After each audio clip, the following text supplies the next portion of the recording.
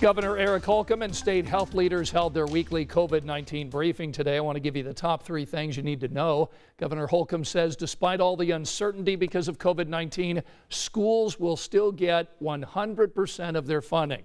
The state health department is also launching a dashboard just for long term care facilities, so that way you can track how many cases may be in a certain facility where your loved one is living.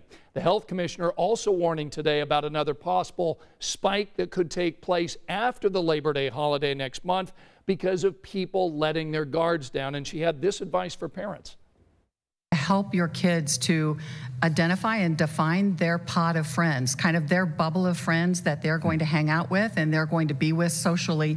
And that limits it rather than having their closest 100 friends at a party that they went to. Maybe it's the six or eight of them that are routinely together. So there's still socialization, which is so important to their development and to their, their mental health.